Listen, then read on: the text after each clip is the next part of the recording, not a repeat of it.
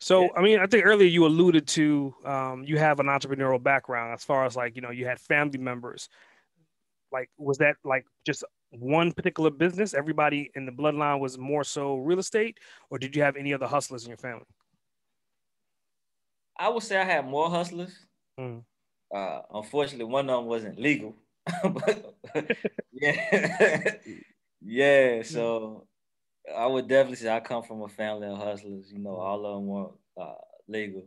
It wasn't that bad. It was just weed, and it's mm-hmm. crazy. It's legal some places now, right? How, yeah, it's legal now. You know what I'm saying?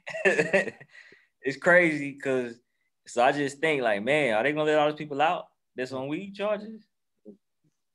That, that ain't gonna happen.